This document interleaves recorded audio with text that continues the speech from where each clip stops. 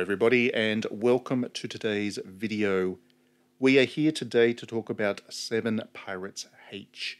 This is the latest Idea Factory RPG that has been localized by eastasiasoft for the Western market, and it belongs to the same series as Moero Crystal, Moero Chronicle, and those games. I think this is the fourth game in that kind of series from memory. It is different to the other ones, but the thing that links them all together is their extreme level of fan service.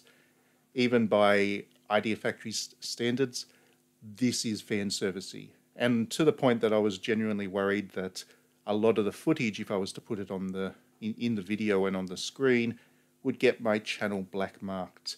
I'm going to describe some of what goes on this in this game, but I am deliberately not showing a lot of it because I just don't want that for my channel. But if you enjoy fan service, you're going to get a good laugh out of this one because they really do push things as far as anything that I've seen on the Switch. The Switch has plenty of fan servicey games from indie visual novels that really amp things up there, or uh, ports of adult visual novels that have had a couple of key scenes removed but maintain the fan service. We all know what those games are. There's also, of course, Idea Factory's own output, including the previous games in this series. There is Dead or Alive Extreme 3. There's a lot of fan service on the Switch. Within that, this is probably the most fan servicey game of them all. This one is pushing boundaries. Um, and I'm amazed that Nintendo let it on there, but at the same time, given Nintendo's direction, I'm not that amazed. Nintendo seems to be the one publisher out there that is supporting of fan service. They don't allow you to do the full adult game, but they are certainly allowing you to, to go as far as this, which is pretty far. So just to give you a, verbal description of what you can do, one of the key mini games and the way that you level your characters up is not just by getting experience points as they fight battles. Um, they eventually fill in a potion, which you can then use to level the character up. And when you use that potion, you play a mini game in which you need to massage your character's chest. And that really is what you do. You massage the character's chest in very various directions, and in doing so, you boost their booby power, which is what the game calls it, and that increases their stats. So it is a mini game that, if certain people see it, will open eyes. It will this will never be a game that comes out on a PlayStation or Xbox console for that reason, but it is certainly um, amusing, I want to say. There's another variation of that mini game that you unlock soon enough where you place where you place an egg between the girl's boobies and then massage them to break the egg. And when you do, you may get a rare item out of doing so. If so, then great but a lot of the eggs don't have rare items in them either. And when they break, they send white fluids, which looks exactly like you have in your mind right now, across her chest. So, this is the kind of game that we're dealing with here. And without beating around the bush here, if you like fan service, then you're going to get a kick out of this. If fan service makes you uncomfortable on any level, then obviously you should not play this. But it does play nicely. It is a very nice little RPG. It is short and to the point. There are certainly many longer RPGs out there, but this one doesn't overstay its welcome. It knows that it's there for comedic, comedic effect. It knows it's kind of that silly fan servicey game and doesn't give you time to get desensitized to it all. It moves on. It lets you move on and play something else before you get bored of its qualities. Uh, but within what it is, it's quite nice.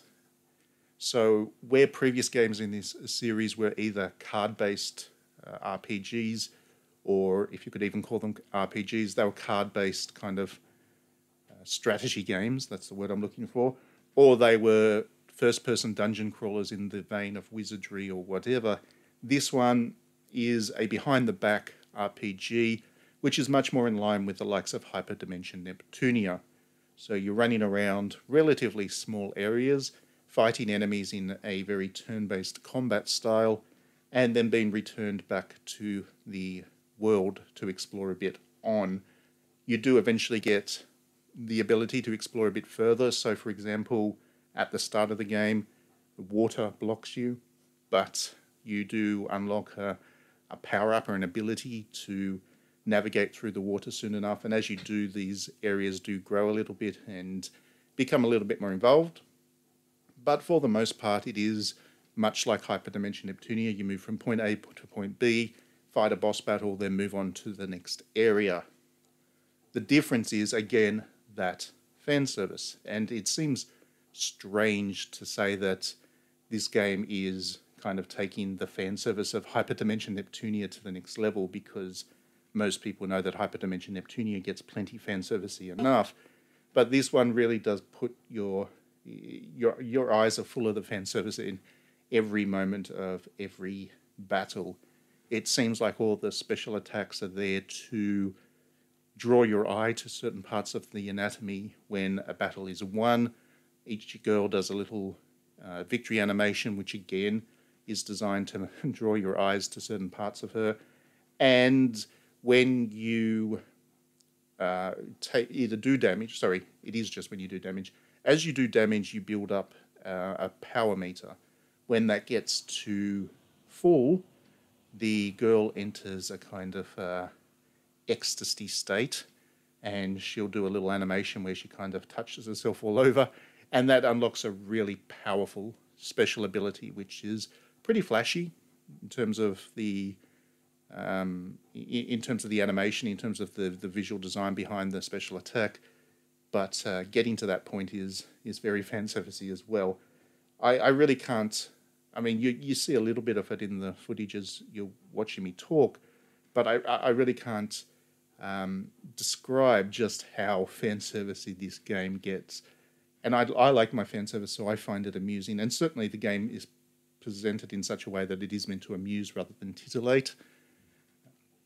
You look at a game like uh, Dead or Alive Extreme, for example, and the point of it is titillation. You're actually meant to get kind of voyeuristic and appreciate these girls' bodies because they're very attractive and, and all that kind of stuff. The, the humor is secondary in that game. In this one, the humor is definitely first and foremost.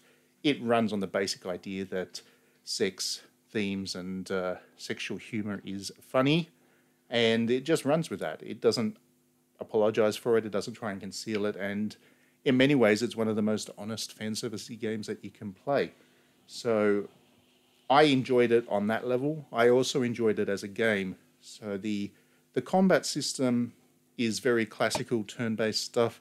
The enemies that you fight are very amusing because most of them are sexual in some way, but in a very kind of comedic, phallic way.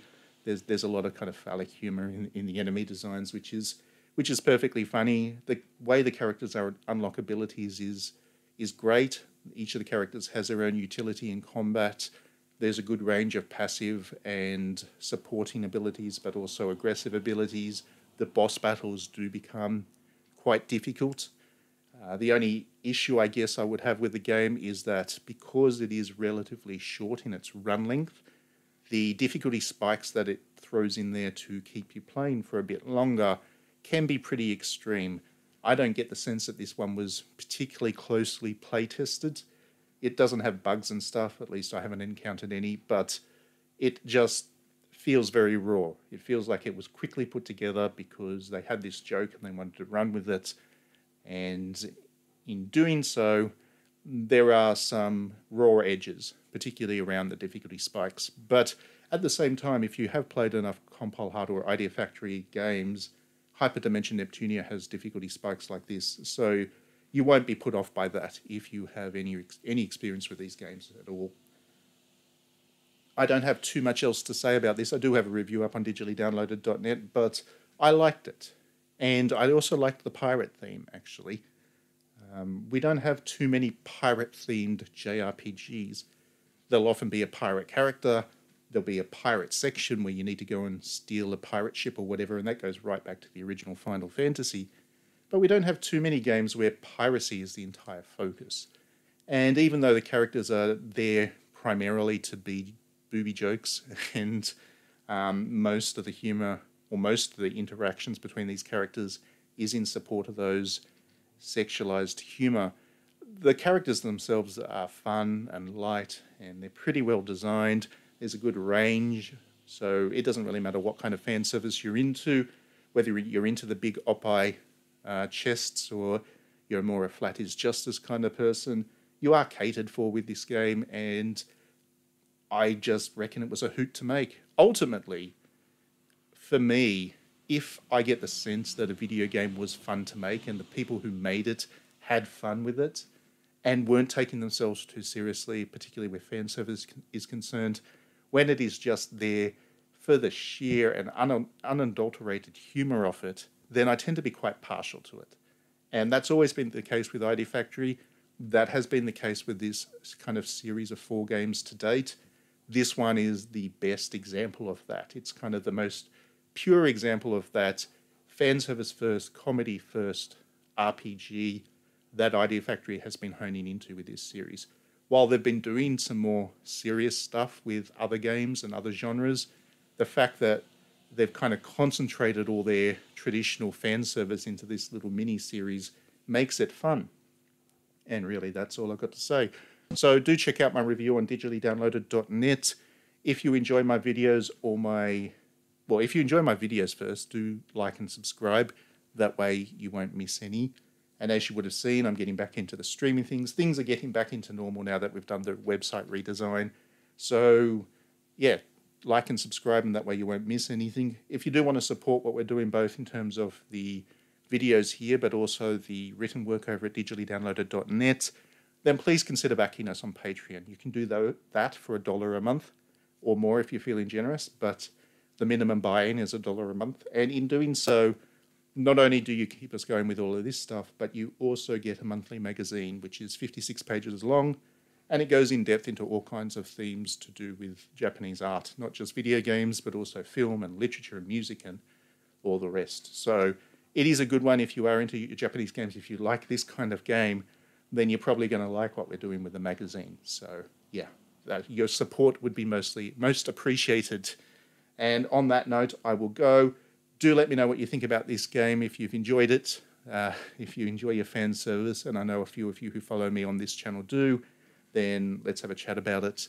Other than that, you won't see me stream, stream this one because I don't want my channel blacklisted. but um, yeah, I, I look forward to your thoughts about the game. Thanks as always for tuning in. We'll see you next time.